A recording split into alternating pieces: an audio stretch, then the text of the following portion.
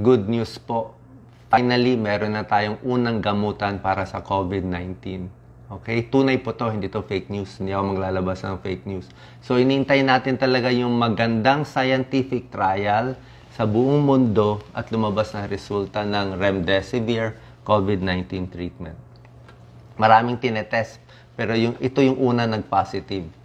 Ginawa to ng US National Institutes of Health. Sila naggawa ng study. 22 countries, 1,000 plus pasyente. Nakita nila yung mga nabigyan ng remdesivir, itong antiviral na gamot, 11 days lang magaling na.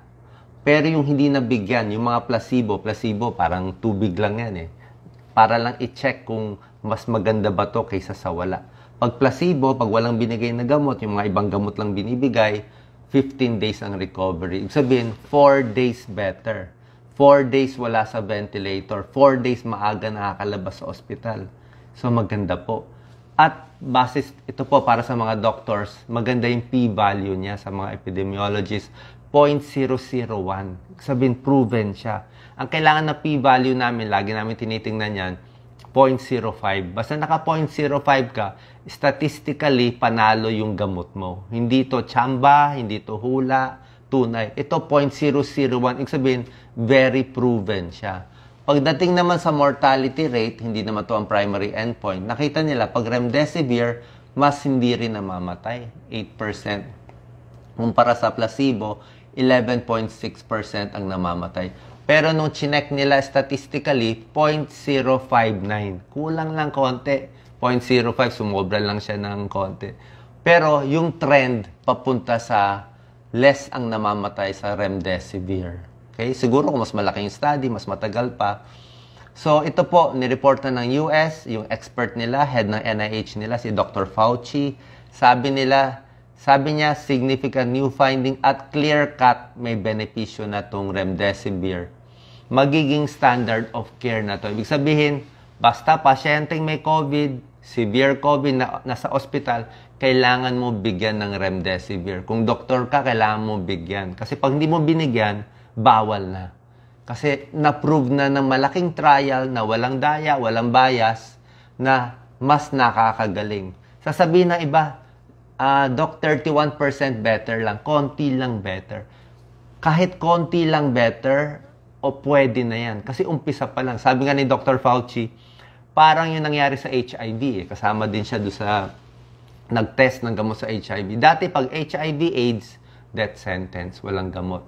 Sinubukan nila yung AZT na gamot. Medyo gumanda, parang ganito.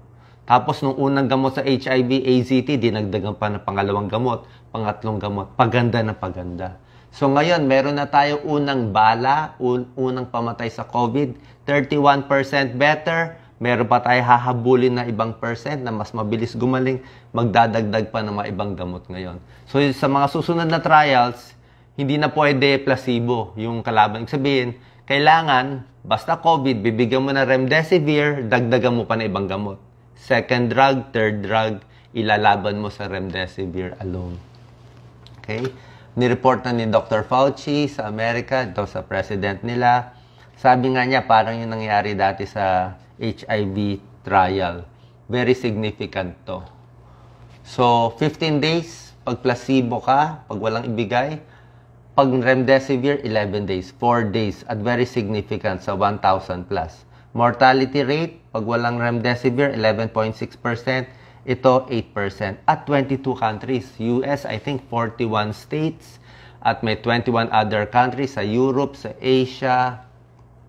At ang maganda dito, na-review siya maigi. Meron pang Independent Data and Safety Monitoring Board. Ibig sabihin, hindi yung mga kasali sa trial ang nag, nagmo-monitor. Meron tagabantay na independent na naghuhuli kung nagdadaya ba yung data, meron bang bias, at nagsabi yung board nung April 27, nakita nila after several weeks, yung mga nabigyan ng remdesivir mas gumagaling.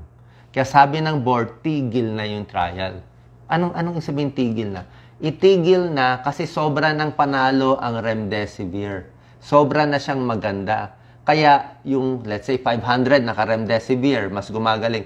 500 naka-placebo, mas mahabang sakit. Sabi nila, hindi na ethical, labag na sa konsyensya na ituloy pa yung trial. Kasi panalong-panalo na to. So, lahat na naka-placebo, bibigyan na nila ngayon ng gamot. Sabihin, sure win na. At hindi na haka-haka lang.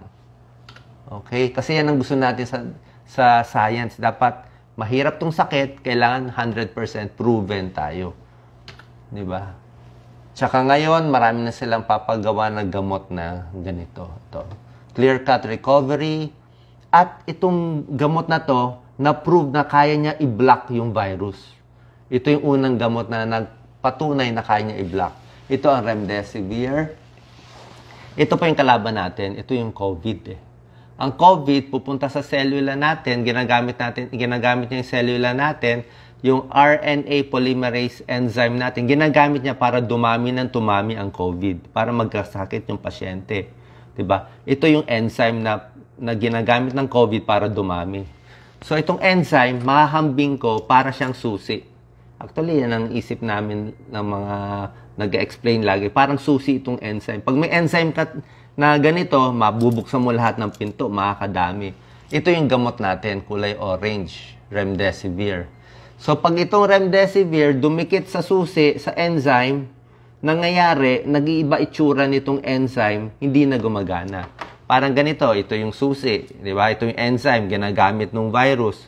Ito yung gamot natin, ito yung remdesivir. Nilalagyan niya ng parang paste itong enzyme eh. So pag nilagyan ko na maraming pandikit to, kumapal-kapal to, hindi na papasok, hindi na siya gagana. So 31% effective na itong gamot natin para ma-block yung enzyme at ma-block yung pagdami ng COVID. Pag hindi mas marami ang COVID, mas gagaling ang pasyente.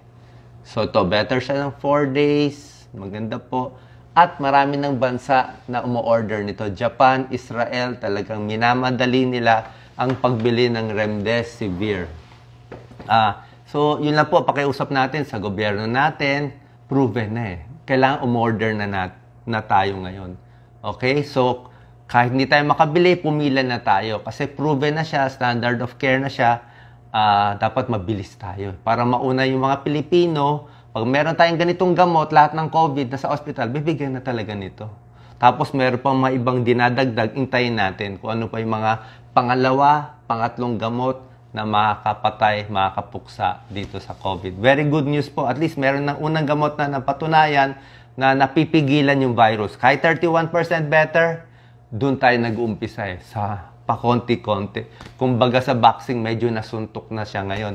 Medyo hilo-hilo na yung virus. At ito talaga, napatunayan siya. At hindi natin sasabihin na gawa-gawa lang. So, pakishare po. God bless po. Uh, ingat palagi, mas maganda pa rin syempre hindi magkasakit sa COVID. Pero kahit papano, parating na po yan yung mga gamot natin. God bless.